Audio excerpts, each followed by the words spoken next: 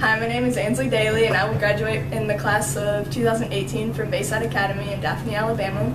My primary positions are setter and defensive specialist. My current GPA is 4.1, and I have a 26 on the ACT, which I plan on retaking. Thank you for watching my video. I hope to hear from you.